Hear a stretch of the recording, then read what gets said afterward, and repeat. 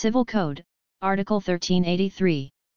The action for rescission is subsidiary, it cannot be instituted except when the party suffering damage has no other legal means to obtain reparation for the same.